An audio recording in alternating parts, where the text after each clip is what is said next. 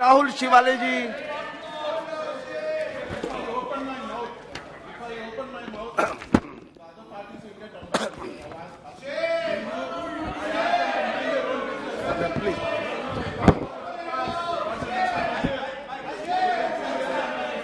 okay. I ask them to mind their own business. Thank you. Please.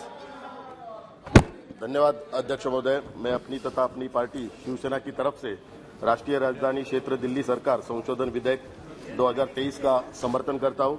अध्यक्ष जी, संविधान के अनुच्छेद 239 ए ए दिल्ली विधानसभा को छोड़कर राज्य सूची और समवर्ती सूची के विषयों पर कानून बनाने की शक्ति प्रदान करता है, जैसे कि पुलिस, सार्वजनिक व्यवस्था और भूमि, संसद दिल्ली के संबंध में राज्य सूची के तहत। विषयों पर भी कानून बना सकती है और ये कानून राज्य कानूनों के प्रतिकूल होने की स्थिति में मान्य होंगे। अध्यक्ष जी, भारत के संविधान का अनुच्छेद 368 केंद्र सरकार को संविधान में संशोधन करने का अधिकार देता है। अध्यक्ष महोदय, संविधान में संसद को यह शक्ति दी गई है कि वह प्रतिकूल स्थिति में दिल्ली में प्रशासन के सुचारू रूप से चलाने के लिए कानून बना सकती है। अध्यक्ष जी, दिल्ली में ऐसे हालात पैदा हो गए थे कि केंद्र सरकार को भ्रष्टाचार से निपटने के लिए अध्यादेश लाना आवश्यक हो गया था क्योंकि माननीय उच्चतम न्यायालय के फैसले के बाद दिल्ली सरकार द्वारा तुरंत अधि, अधिकारियों के तबादले किए गए और आधी रात को कार्यालय खोले गए और भ्रष्टाचार से संबंधित फाइलें को नष्ट किया गया। अगर दिल्ली सरकार इतनी साफ़ सुथरी होती तो माननीय उच्चतम न्यायालय के फैसले के तुरंत बाद तबादले नहीं करती और न ही आधी रात को कार्यालय खोलती। अध्यक्ष महोदय यह सोचने वाली बात है कि ऐसी स्थिति क्यों आई?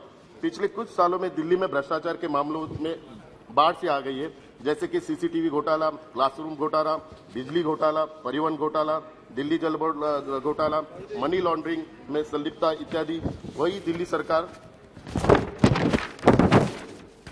भ्रष्टाचार के मामलों को दबाने के लिए अधिकारियों पर अनावश्यक दबाव बना रही थी और मनमाने के तरीके से उनका ट्रांसफ़र कर रही थी, जिससे अधिकारियों में असुरक्षा की भावना बढ़ गई थी। अध्यक्ष महोदय, दिल्ली न केवल एक केंद्र शासित प्रदेश है, बल्कि यह देश की राजधानी है, इसलिए दिल्ली सरकार की इन कृत्यों को नजरअंदाज नहीं किया जा सकता है। अध्यक्ष जी, यह किसी से छिपाने की दिल्ली सरकार के एक उप मुख्यमंत्री जेल में और एक मंत्री हाल ही जेल में, जेल से जमानत पर बाहर आए जो लोग कांग्रेस को कांग्रेस के भ्रष्टाचार के मुद्दों को, मुद्दा बनाकर दिल्ली में सत्ता में आए थे और बड़ी बड़ी बातें करते थे कि अगर सत्ता में आए तो सारे भ्रष्टाचारियों को सलाखों के पीछे डाल देंगे।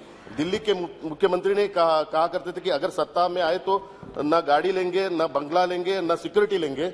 जनता के आम आदमी है, आम आदमियों की तरह रहेंगे। लेकिन सत्ता में आते ही एकदम बदल कर गाड़ी भी लिया, बंगला भी लिया और सुरक्षा भी ली। और तो पंजाब में सत्ता में आने के बाद पंजाब से सिक्योरिटी भी ली है। अध्यक्ष महोदय, दिल्ली के मुख्यमंत्री द्वारा शराब लाइसेंस की नीति निजी लाइसेंसधारियों को अनुचित लाभ प्रदान करने के लिए डिज़ाइन की गई थी, जिसका अर्थ है व्यापारियों से रिश्वत कमाना। यह बात जग ज़ाहिर है कि मुख्यमंत्री कहता था कि मैं बंगला नहीं लूँगा, वह पहले ही बता, वह बंगला भी लेता है और अधिकारियों पर अनावश्यक दबाव बनाकर उस बंगले की मुरम्मत के लिए 53 करोड़ खर्चा करते हैं। विदेशियों से मार्बल मंगाया जाता है और नौ नौ लाख का एक एक एक पर्दा लगाया जाता है। अध्यक्ष निर्माण कार्य की प्रारंभिक लागत लागत 15-20 करोड़ थी। हालाँकि इस समय पर बढ़ाया गया इस समय समय पर उसको बढ़ाया गया था। ऐसा रिपोर्ट के अनुसार अब तक कुल लगभग 53 करोड़ खर्चा किया जा चुका है। प्रारंभिक अनुमान से तीन गुना से अधिक है। अध्यक्ष अध्यक्ष जी एमपीडी 2021 का एक घोर उल्लंघन है। मैं अपने कांग्रेस के मित्रों से कहना चाहता हूँ कि जो लोग पानी पी पी कर दिल्ली के मुख्यमंत्री के मुख्यमंत्री को उसके द्वारा किए गए घोटाले के लिए कोसते थे, वही लोग दिल्ली के मुख्यमंत्री के घोटाले में उसका साथ दे रहे हैं। आए दिन दिल्ली प्रदेश कांग्रेस के साथ ही दिल्ली के मुख्यमंत्री द्वारा किए भ्रष्टाचार के खिलाफ धरने प्रदर्शन करते थे। क्या यह केवल जनता को गुमराह करने के लिए थे?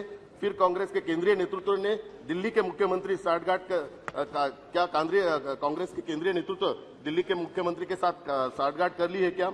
ये लोग सत्ता के लिए देश के लोगों को धोखा दे रहे हैं और कांग्रेस को तो किसी भी हालत में देश को सत्ता चाहिए कांग्रेस को तो किसी भी हालत में देश की सत्ता चाहिए इसलिए तो वह जिन लोगों को भ्रष्टाचार के लिए कोसते थे आज उनके साथ गठबंधन बना रहे इसलिए दिल्ली की जनता को राहत देने के लिए आप सरकार के भ्रष्टाचार को किसी हद तक रोकने को और इस पर अंकुश लगाने की आवश्यकता है। अतः केंद्रीय सरकार द्वारा संविधान सम्मत यह बिल संसद में लाना पड़ा।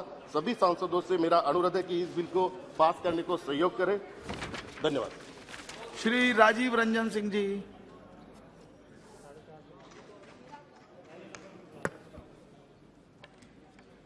सभापति महोदय national capital territory.